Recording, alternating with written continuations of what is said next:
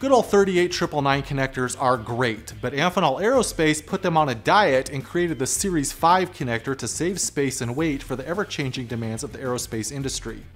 Series 5 black zinc nickel circular connectors from Amphenol Aerospace are up to 20% smaller, 50% lighter, and can operate at higher voltages compared to their predecessors.